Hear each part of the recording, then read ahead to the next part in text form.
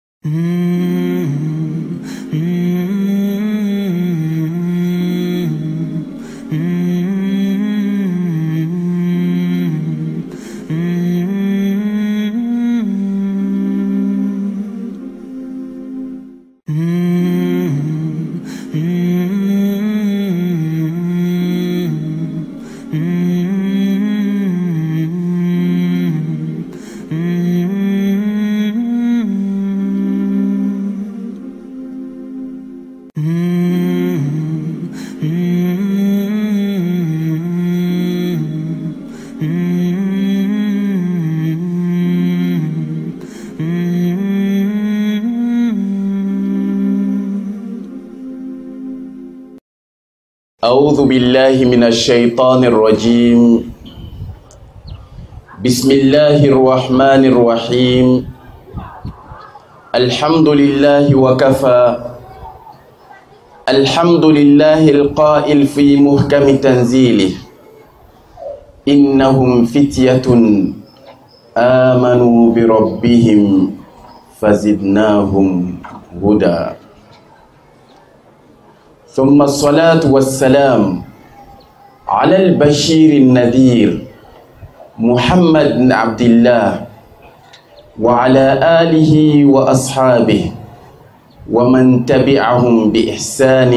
إلى يوم الدين أما بعد فالسلام عليكم ورحمة الله وبركاته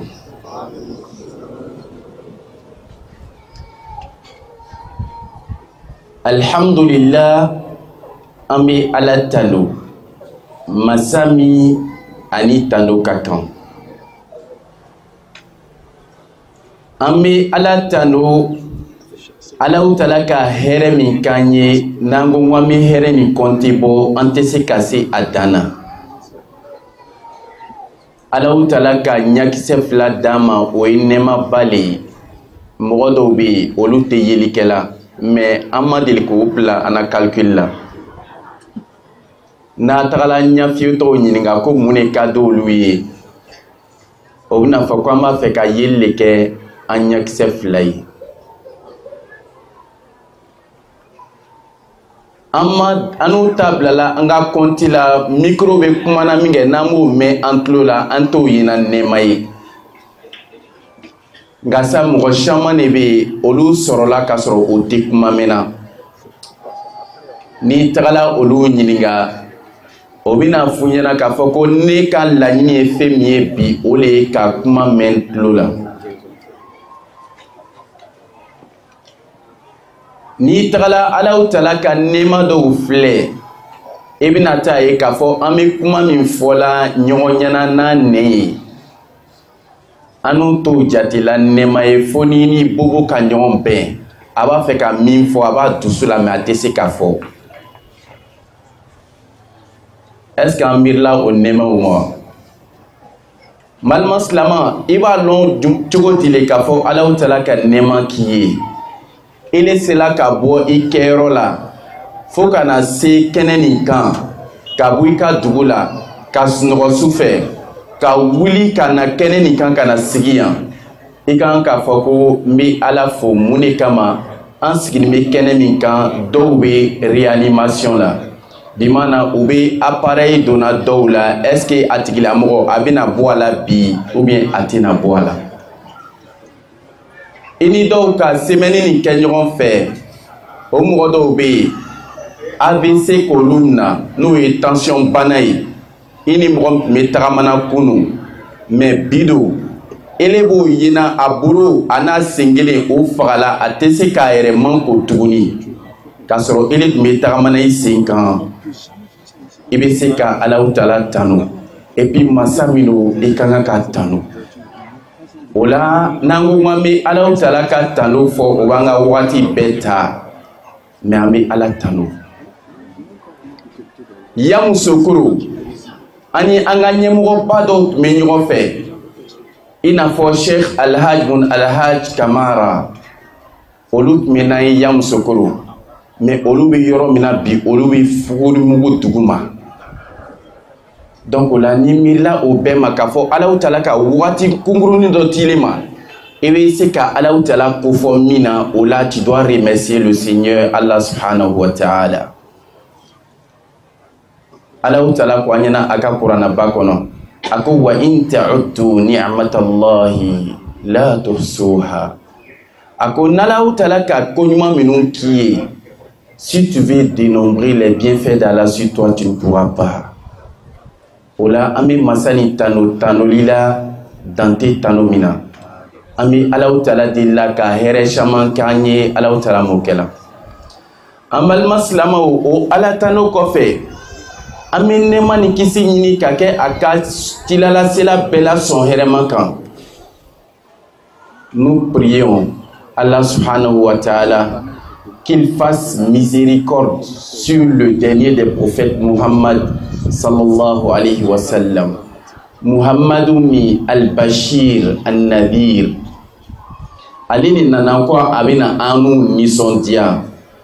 muhamadu le nana ka na fɔ an ɲɛna ko tasuma bɛ yen muhamadu le nana ka na fɔ an ɲɛna ko arijinɛ bɛ yen o muhamadu min a k'i mako don kamelendenw la a tun bɛ importance dila kamelendenw ma an ka kuma bɛna se olu ma an balima silamɛw o la an b'a ɲinina alaw tala fɛ ka hinɛ ni nɛɛma k'o kɛ cidenba in kan alaw tala m'o kɛ la n balima silamɛw a ka sahaba ɲumanw ani jɔn ɲuman minnu tugula muhamadu kɔ minnu ka diinɛ in lase an'u ma ka hinɛ kɛ an n'o bɛɛ lajɛlen kan n balima silamɛw alaw tala m'o kɛ la alahu taala ko a ka kuranaba kɔnɔ a bɛ kumana kabinidenw kan minnu ka sira ta a ko di a ko innahum fitiyatun amanu birɔbihim fazidnahum huda a ko o mɔgɔw tun ye kamilendenw de ye o limaniyala o tigi ma n'o ye alaw taala ye a ko o k'o limaniya min kɛ alaw taala ko ko ne ka jidili kɛ u ka limaniya la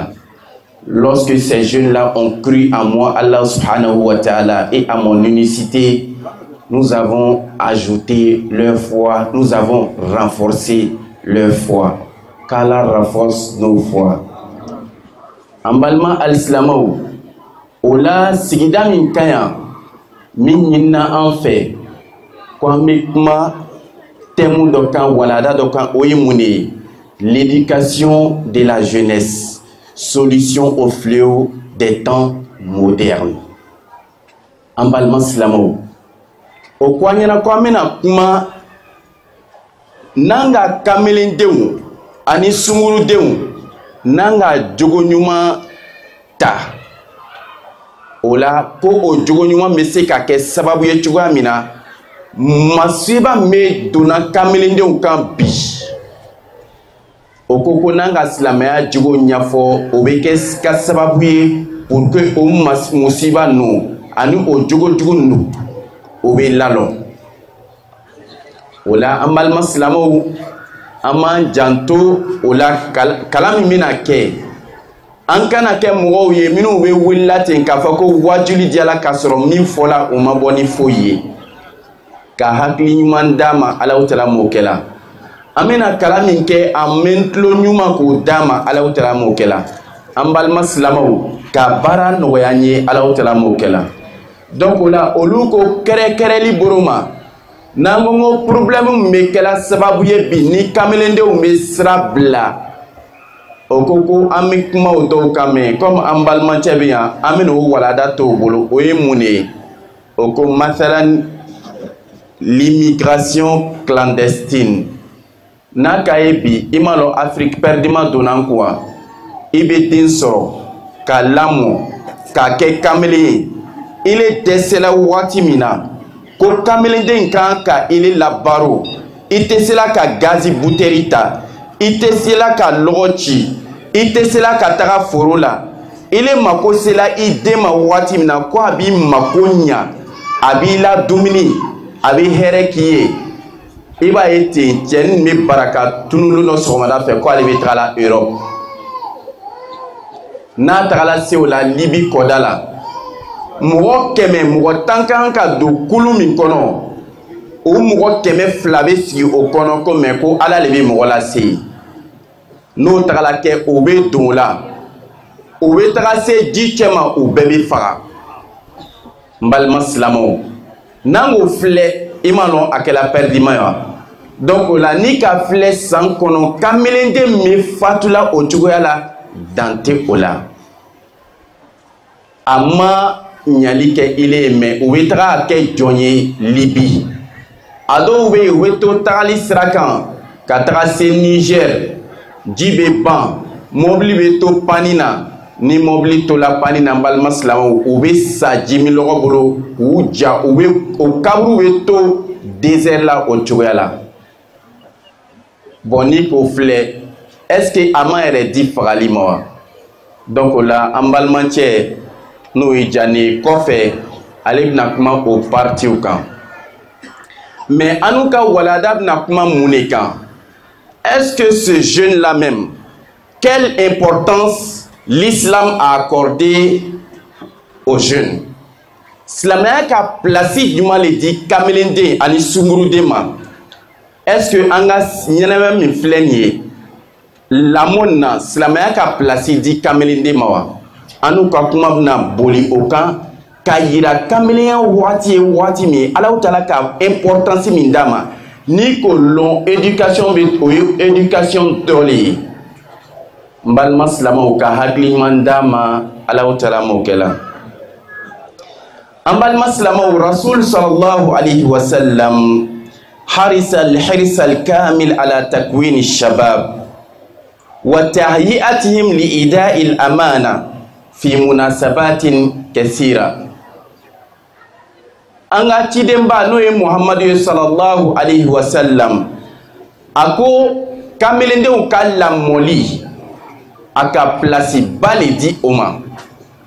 mɛ n'an ka filɛ sisan entre parenthèse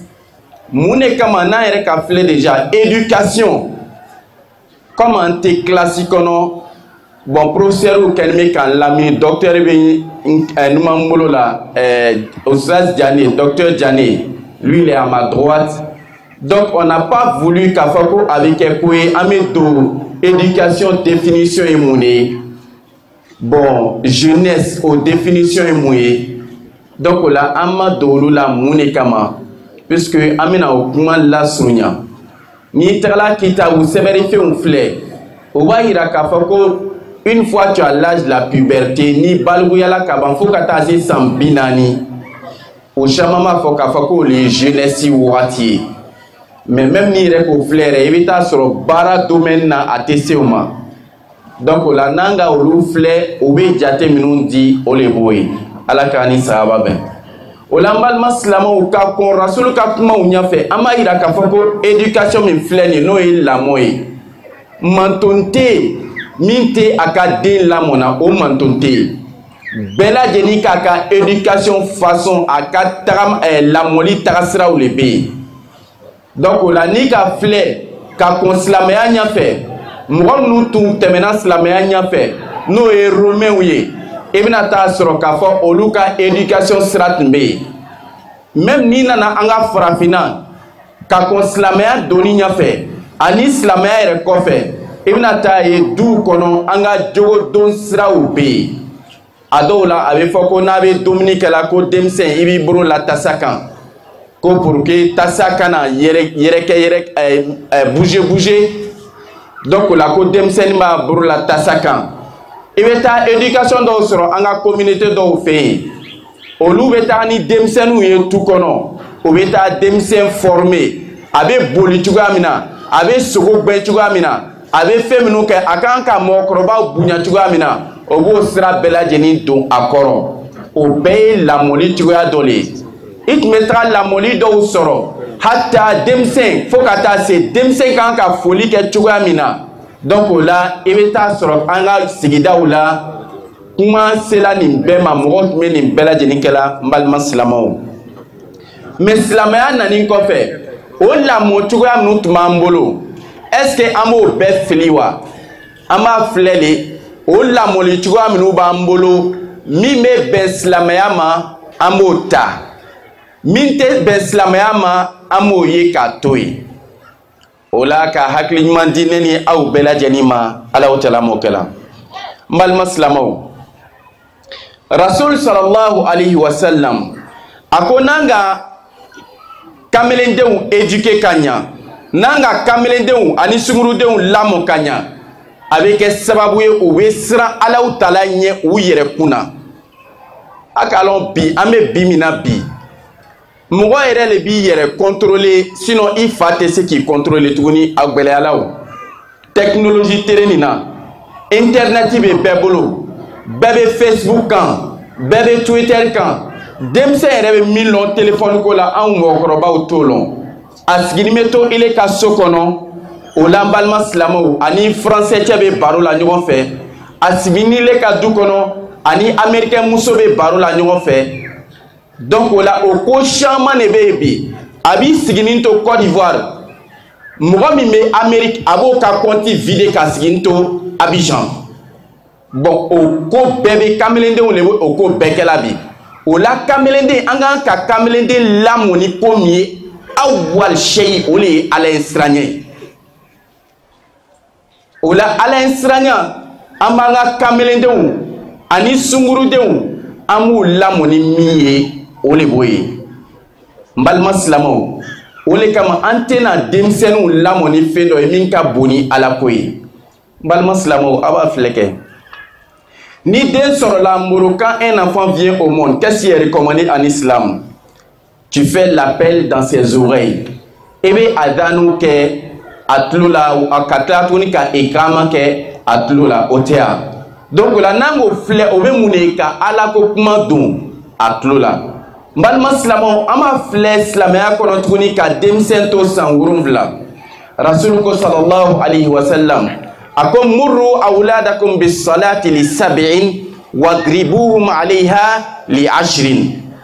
a ko ni denmisɛnninw sera san wolonwula a bɛ denmisɛnninw lamɔ a b'u lamɔ ni mun de ye ni seli ka kɛli ye k'u to san wolonwula nka sa n'u sera san tan n'u banna a fɔla k'u bɛ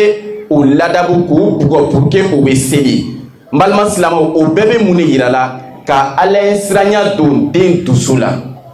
o la ni ala ye siranya ma don den min dusu la kɛ a bɛ gɛlɛya o le kama an m'a ye wa i k'a lɔn dusu filɛ nin ye an bɛ baara fɛn o fɛn kɛla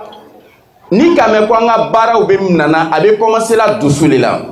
rasulu ko sallallahu alayhi wa sallam a ko innamal a'malu binniyat a ko baara bɛɛ lajɛlen filɛ nin ye baara bɛ sinsinna fɛn min kan o de ye dusukun ye donc o la ni dusukun baara ɲɛna baara tɔw bɛ ɲa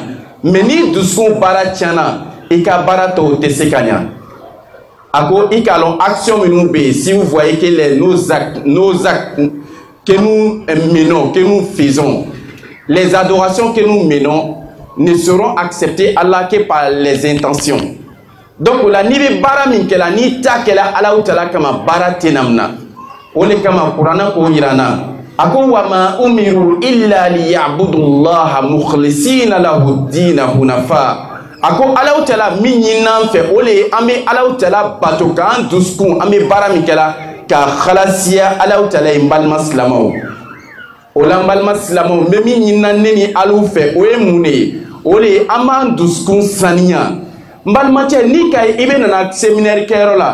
n'i le ma dumuni sɔrɔ i b'a kɛ kɛlɛ ye i ma kɛ alako kama a bɛ se ka kɛ ɔriganisatɛriw bɛ defo kɛ mɛ ni le ka laɲini ye alako le ye i bɛ n'i dusu suma o la n balima silamɛw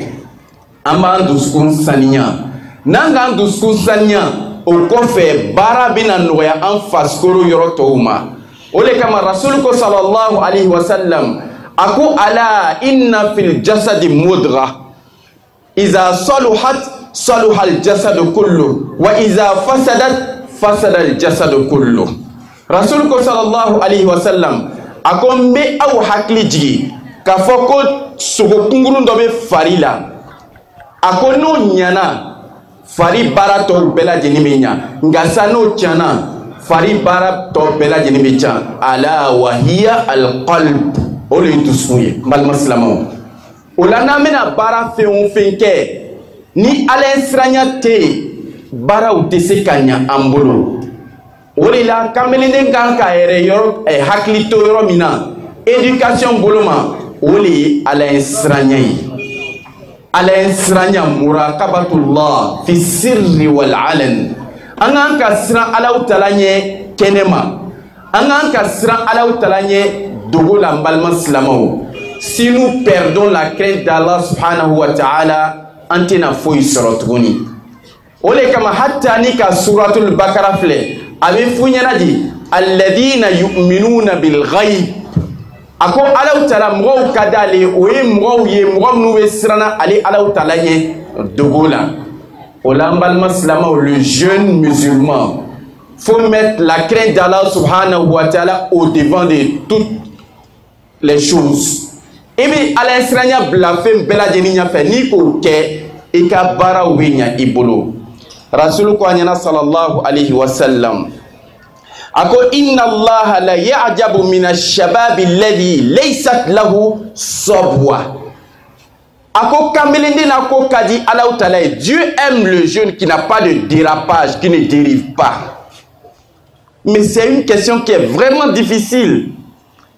a ka lɔn kamelenden filɛ nin ye il a la force fanga b'a la kamelenden filɛ nin ye il est grand de taille il, il, ça veut dire la vie ni ka mɛn ko ɲɛnɛmaya kamelenya ni ka mɛn ko ɲɛnɛmaya ka di kamelenya le ko le o sinon n'i sɛgɛla wagati min na k'a fɔ ko n'i le ka dumuni kɛ fo bɛ fila dɔ dom pour que i kɔnɔ bɛ magaya han dɔ kɛla dɛ i tɛ se ka boli tuguni boli kɔni kuma tɛ tuguni kɔgɔ a bɛ fɔ k'u kana kɔgɔ don mu sukaro a bɛ fɔ k'u kana sukaro don mu ni kɔgɔ bɔra sogo la a jala wa ni sukaro bɔra kafe la a jala wa mɛ kamelenden de b'o bɛɛ don mu sunkuruden de b'o bɛɛ don mu ni kuma min ka diya a b'o fɔ ni ko min ka diya a b'o kɛ alaw taara ko k'o fanga to a la epi a tɛ kojugu kɛ ko nɔ k'o ka di ne ye o la an balima silamɛw an k'an ka porofite o la an ka kamelenya an'an ka sunkuruya waati ka kɛ gurupu la min tɛ alaw tala k'u tala ala hakili ɲuman d'a ma n balima silamɛw an b'an jija kamelendenw halisa wɛrɛ bɛ yen rasul sallallahu alaihi wasallam a b'a fɛ ka éducation wɛrɛ d'a ma min bɛ kɛ sababu ye an b'an yɛrɛ réserver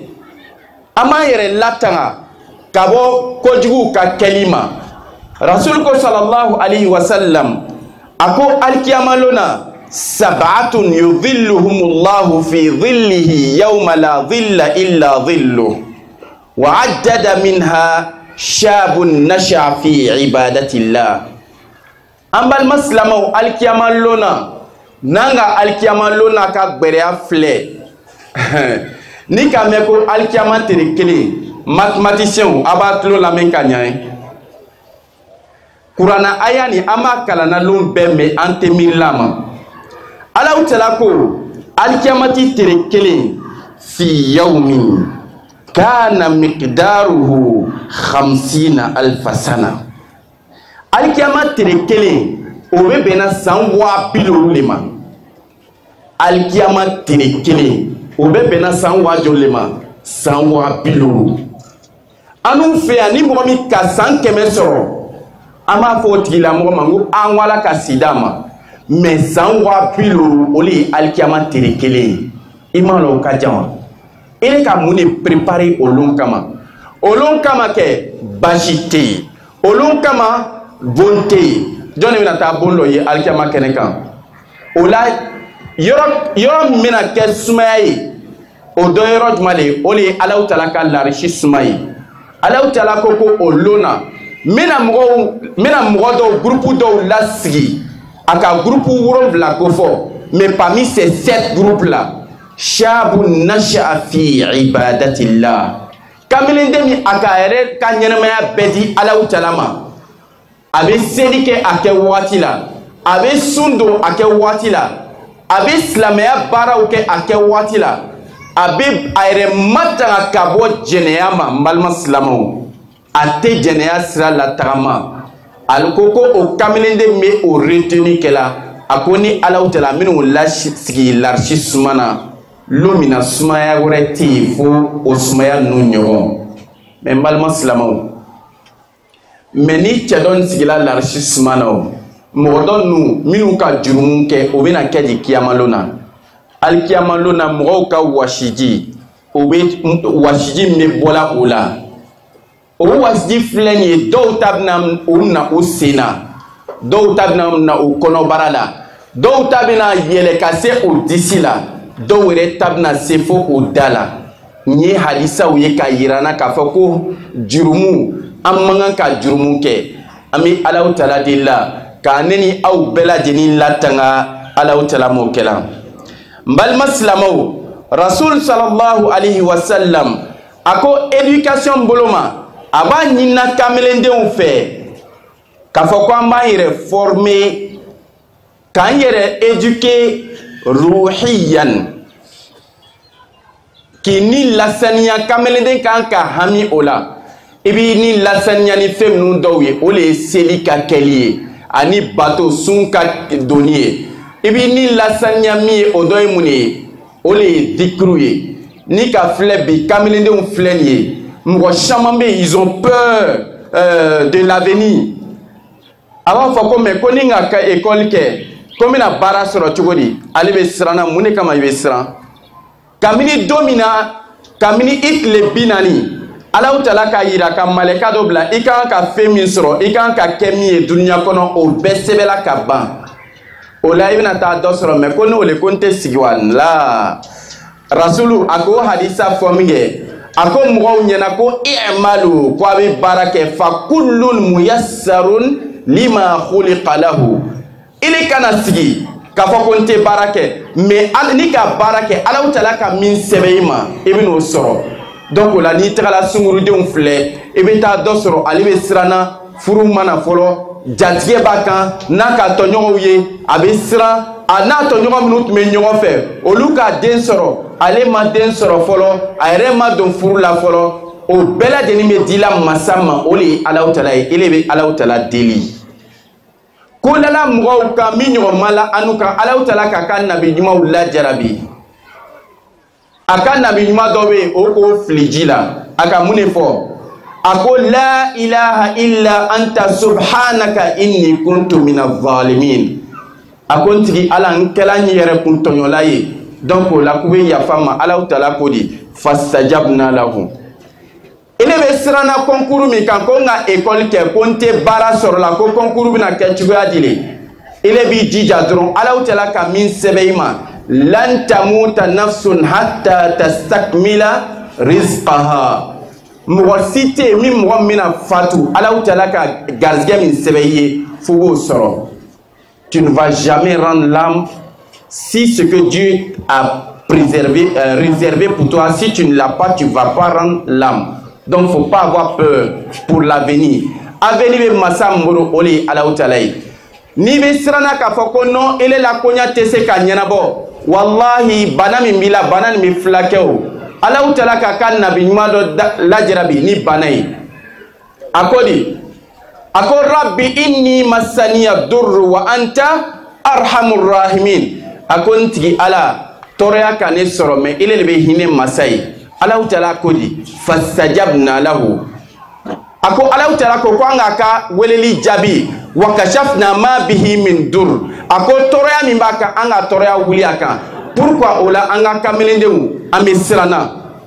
kamilennen dɔw bɛ yen o b'u ka waati bɛɛ kɛ te min na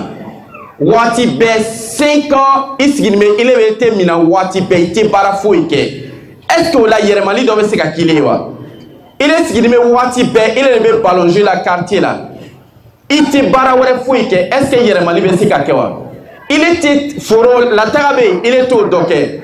problème bɛ yen ile t'o kɛ o de kama fo bɛ siran kɛ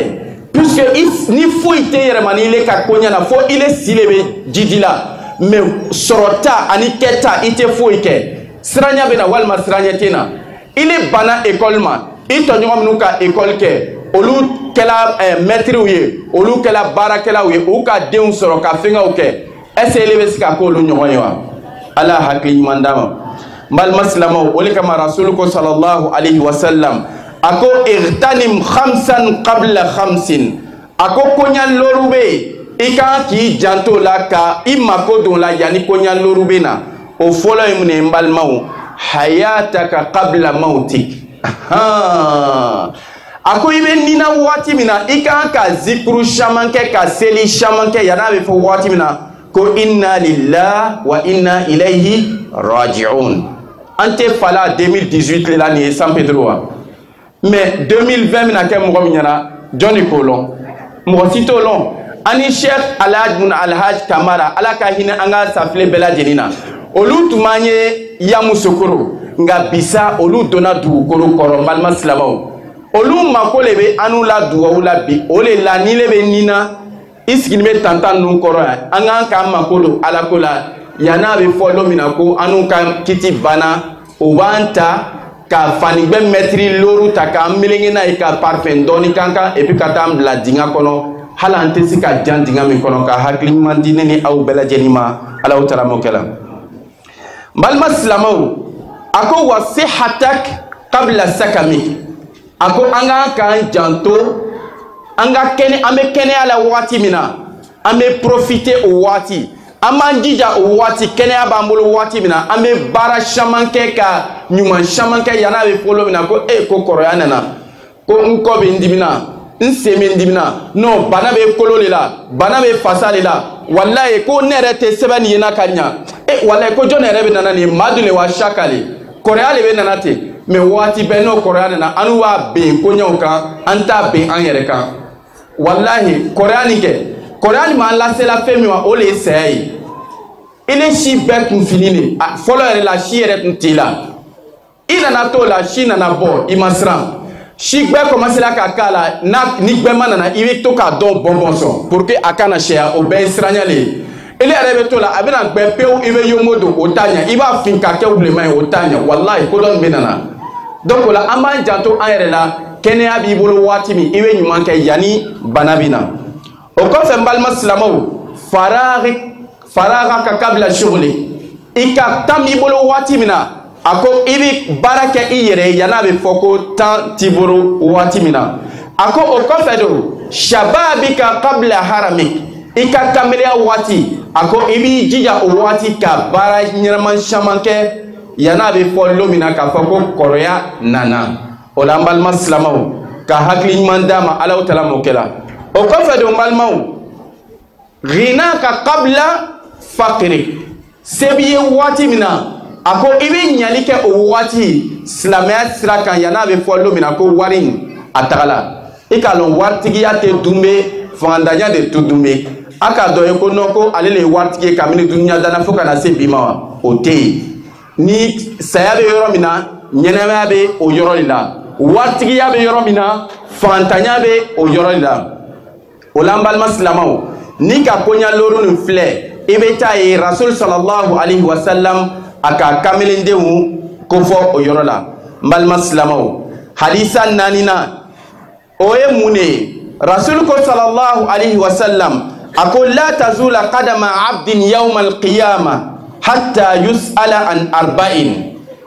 an umrihi fima afna wa an shababihi fima abla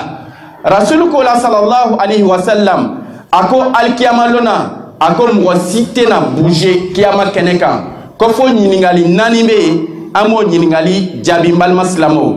o ɲininkali fɔlɔ ye mun de ye o ɲininkali fɔlɔ o le o bɛna ɲininka ani umrihi fima afna alahu taala ka si min kalifa i la san bi naani san bi saba san bi loru san kɛmɛ i ka mun de kɛ i sida nin kɔnɔ mɛ n balima silamɛw an b'an yɛrɛ ɲininka yalasa mɔgɔ ka kamelenya waati o t'i i si dɔ ye wa o b'i si dɔ le ye nka sa ɲininkali filanan bɛna na kɔnpose tuguni i ka kamelenya waati kan ɲininkali fɔlɔ i ka si min sɔrɔ alaw tala bɛ n'i ɲininka o ma mɛ ni ka filɛ i ka si min sɔrɔ i ka kamelenya bɛ donna o kɔnɔ mɛ pourquoi an b'an yɛrɛ ɲininka ɲininkali filanan bɛna kɛ ɲininkali mun de ye o le ye i ka kamelenya waati i ka mun de kɛ o la donc ça doit nous interpeller il dit nul ne va bouger le jour de la rétribution sauf s'il répond à ces quatre questions la première de ces questions qu'est-ce que tu as fait avec l'âge que Allah t'a attribué Allah t'a ka la min ma ka mun a flana nous tous, nous savons que, mais, quand on parle de l'âge déjà que vous avez eu, il y a la jeunesse qui est inclue immédiatement. Mais la deuxième question, c'est de savoir qu'est-ce que tu as fait avec le temps de ta jeunesse.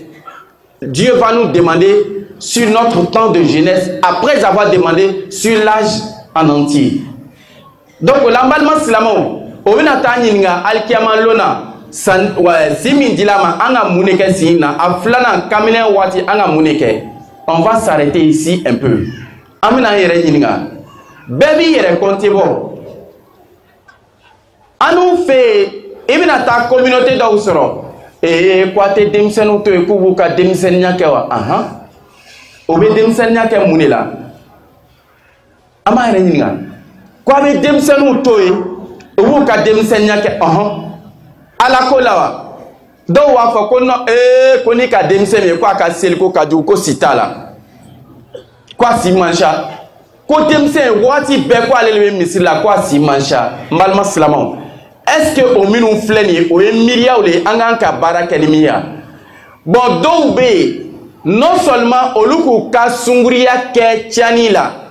u k'u ka eh, kamerenya kɛ tiɲɛni la nka sa u ma tubi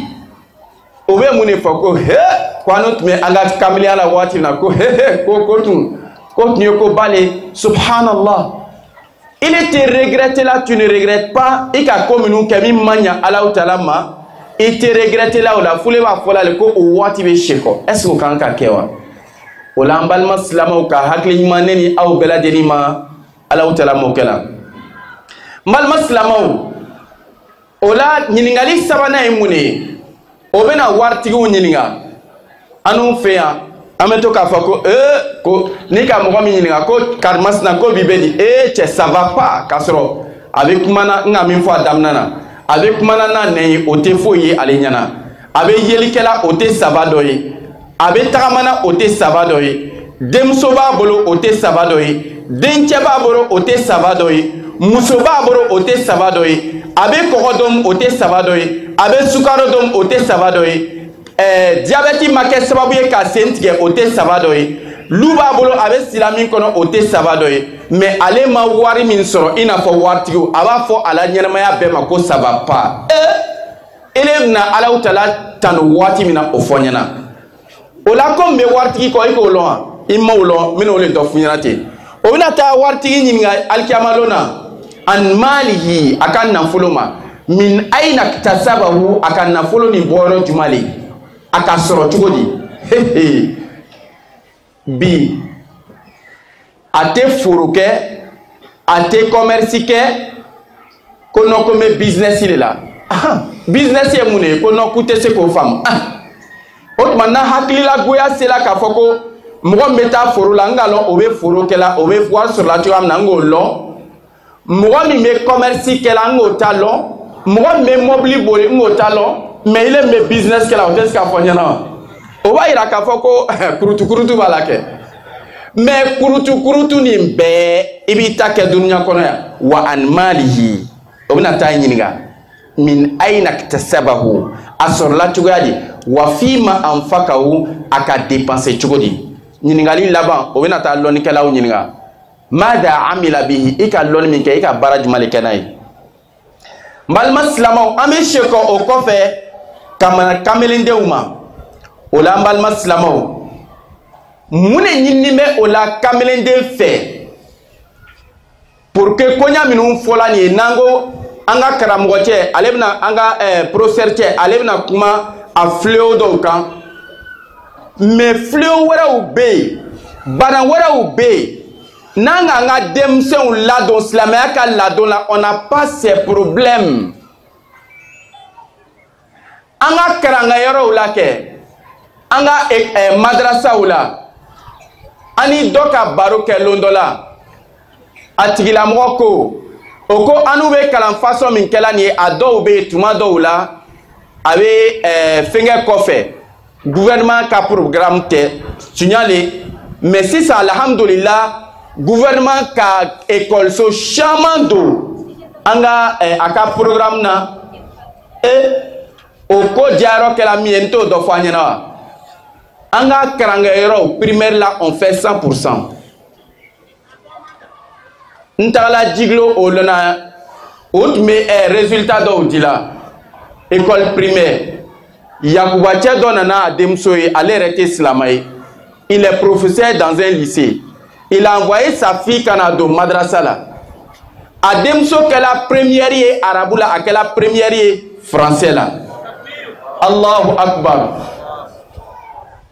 n tagala ekɔliso wɛrɛ la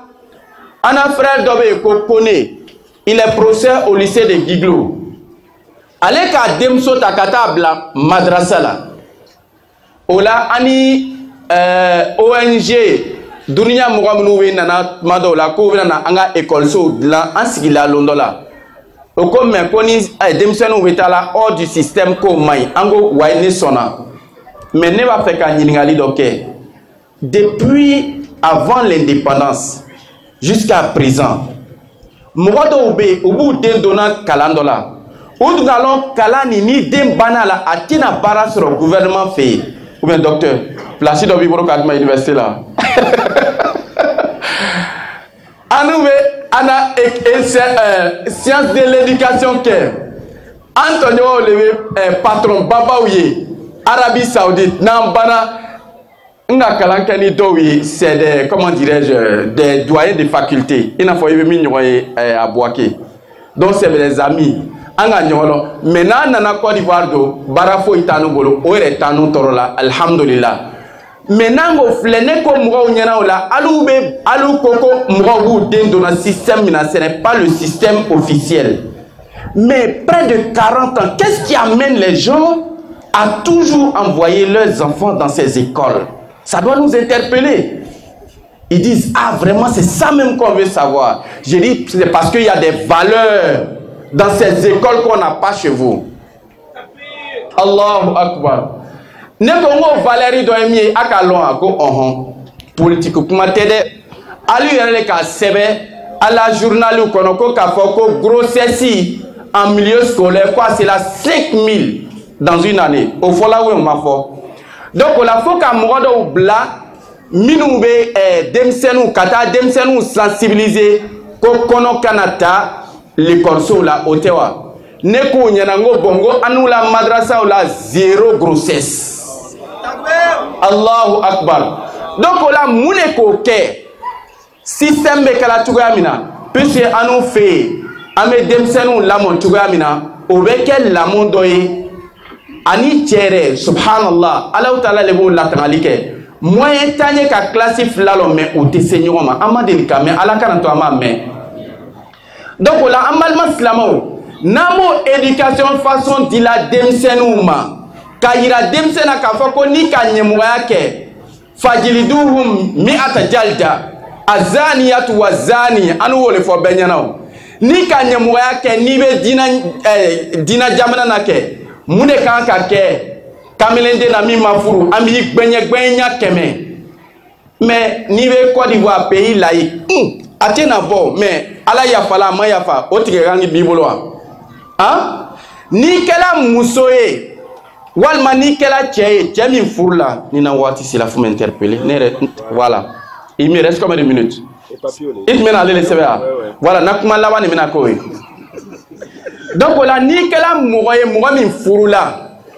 i ka mɛn a mɔgɔ min furula et puis ka ɲɛmɔgɔya kɛ parce que ɲɛmɔgɔya min filɛ nin ye o ye fléau dɔ le ye tuguni o ye bana dɔ le ye kamelendenw bolo bi an tɛ se ka faamu a bɛ taa ɛɛ comment dirais social mɔgɔw ɲininka centre social mɔgɔ ninnu den caman de filili bɛ kɛla caniveaux kɔnɔ ni ka o ye mun de sababu la ɲɛmɔgɔya parce que a tɛ se ka den yira a ma furu kɛ. est ce que an ka faamu bon o den minnu bɛ sɔrɔla o ye ɲɛmɔgɔ den minnu bɛ sɔrɔla o ye k'u bila nature la ten mɔgɔ wɛrɛw b'o lamɔ o denw bɛ lamɔ o tɛ falɔn o tɛ balɔn n'a mɔnɛna don min na a bɛ marifa ta ka mɔgɔ caman faga yɔrɔ dɔ la yen ala y'a hakili ɲuman d'a ma o de kama mɛ a b'a filɛ n'an k'an ka denmisɛnninw lamɔ ka ɲa mɔgɔ min furula a tɛ ɲamɔgɔya kɛ ni den ni muso siranna alaw tala ɲɛ n'an ka alaye siranya don a dusu la i n'a fɔ a fɔra la cogoya min na a tɛ ɲɛmɔgɔya kɛ o de kama ni alaye siranya donna éducation n tɛna kuma kan tuguni ka kuma sariya an bɛ alaye siranya le don an ka denw dusu la ni seli ni sun ni jɛgɛ ni zikiriw ye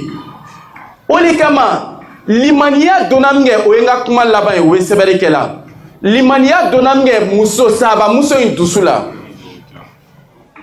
non i sigi i sigi n belinkɛ le ture le limaniya donna min kɛ saba muso dusu la madina muso ni a ka ɲɛmɔgɔya kɛ k'a to furu kɔnɔ a tun furula ka ban o le kɔfɛ a nana ɲɛmɔgɔya kɛ ala ye siranya donna a dusu la a wulila ka taa rasulu nɔfɛ salallahu alaihi wasallam a ko ya rasulallah tahirni a ko rasulu a ko n saniya ya rasulallah tahirni a ko n saniya limaniya donna muso in dusu la siranya kama k'a sɔrɔ mɔgɔ m'a lɔn ko a ka ɲɛmɔgɔya kɛ a tun bɛ se k'a yɛrɛ dogo mɔgɔ tɛ bɔ a kalama mɛ a nana a ko ya rasulallah tahirni a ko n saniya rasulu ka muso nin filɛ a ko muso ɲana taga n'i ka den sɔrɔ wagati min na a ko i bɛ na m'i saniya est ce que o tɛ occasion de ye wa muso bɛ se ka voyager ka taa yɔrɔ wɛrɛ mais ala ye siranya kama puisque fɛn b'a dusu la a bɛ siranna a tigi ɲɛ alladhi la yakhfa alayhi shay'un fil ardi wala fis sama ko tɛ dogola masa min ma sankoro la ko tɛ dogola masa min ma dugukolo la o masa ni kɛ muso ni ka den sɔrɔ min kɛ a nana n'a den ye a ko ya rasulallah tahirni a ko rasulu m'a ɲini fɛ i bɛ n saniya mɛ est ce que a ka lɔn muso nin bɛ saniya min kɔ wa muso nin nana le ko rasulu b'a bila dugukolo la k'a bon fo k'a faga a ko la ya rasulallah a ko tahirni rasulu ko muso nin ɲɛna o taga sin di den ma ni den fala sin na waati min na i bɛna min nin saniya muso a b'o occasion bɛɛ filɛ a tagala sin di den nin ma den fala sin na wagati min na muso sekola ka na rasuluma salallahu alaihi wasallam a ko ya rasulallah tahirni a ko rasul muhammad salallahu alaihi wasallam a ko n ka kɔnɔ ta n ka den sɔrɔ n ka sin di den ma a ko n lasaniya o kɛla min kɛ rasul sallallahu alayhi wa sallam a ka muso ni den écarté alaw tala ka kiti le n'a y'a sɔrɔ k'a fɔ ko hinɛ ko le kɛ bilmuminina raufun rahim ale le bɛ hinɛna muminiw bɛɛ lajɛlen na walaw kunta fadhan ghaliza alqalb lanfaddu min hawlik a fɔla kurana aya kɔnɔ ko muhamadu n'a y'a sɔrɔ k'a fɔ ko i dusu tun ka bon i tɛ mɔgɔw lakuna a ko bɛɛ tun bɛna jɛnsɛn ka bɔ i ma rasul sallallahu alaihi wasallam a ka muso nin ta u ka dingɛ sogi muso nin bonna fo k'a faga o la an n'u bɛ se ka fɔ o la cogoya di ko n bɛ ɲɛmɔgɔya nin kɛ ko kɔntɛri t'a la o la n balima silamɛw sahaba dɔw kɔmansela i n'a fɔ a bɛ kɛla yɔrɔ bɛɛ la cogoya min na muso ni ka ɲɛmɔgɔya kɛ muso ni ka kɛ ten muso ni ka sigi ten rasulu ko a ɲɛna ko a b'a jigin a kana kuma dɛ a ko n'a y'a sɔrɔ k'a fɔ madinaka bɛɛ lajɛlen olu ka limaniya tala ka bila basikili fankelen na ka muso ni ka limaniya ta ka bila basikili tɔ kelen na a ko muso ni ka limaniya tun bɛna tɛmɛ madinakaw bɛɛ ta kan o de la n balima silamɛw n'an bɛna baara fɛn o fɛn kɛ an bɛ ala ye siranya bila an ka koɲɛw ɲɛfɛ an bɛ alaw tala deli ka laɲɛ siranya di ne ni aw bɛɛ lajɛlen ma alaw tala m'o kɛ la mɛ an balima silamɛw an b'a lɔn tuguni ala ye siranya filɛ nin ye n'a nana tuma dɔw la teri juguw bɛ kɛ sababu ye ka tiɲɛ i bolo nka sa i b'i yɔrɔ ma janya teri jugu la i b'a lɔn k'a fɔ ko alaw tala a ka gardien fila bila ma yalfid min qawlin illa ladayhi raqibun atid k'an ka kamelendenw k'aw ni sahaba bɛn alaw tala mɔkɛ la an b'a delila alaw tala fɛ innahum fitiyatun amanu birabbihim fazidnahum